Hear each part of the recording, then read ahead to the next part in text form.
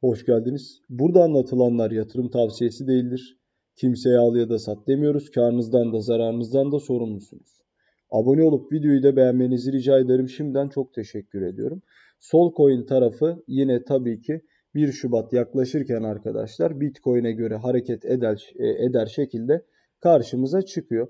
Olası durumdaki düşüşlerin devamı halinde sol ortalama 22 dolar dolaylarına kadar geri çekilmeler yapabileceği gibi şu an 22-26 aralığı içerisinde bulunuyor. Beklenti dahilindeki veriler Sol coin'in 22'yi olası durumda aşağı kırması 18-8'lere kadar düzeltme asıl beklenti ve yüksek oran ABD tarafından geldiğinde 27'lerin kırılması Sol coin'de Şubat ayı hedefini 57 dolaylarına kadar devamında bir geri çekilme yapıp düzeltme ile birlikte 46 dolar düzeltmesiyle birlikte bir e, hedef karşımıza koyuyor.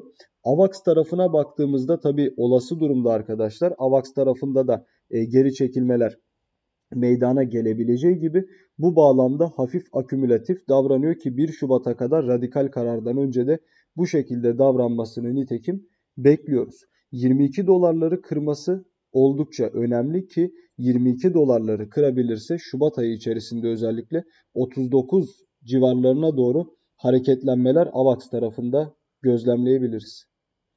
İzlediğiniz için çok teşekkür ediyorum. Abone olup videoyu da beğenebilirsiniz. Bol kazançlar dilerim izleyen herkese. Hoşçakalın.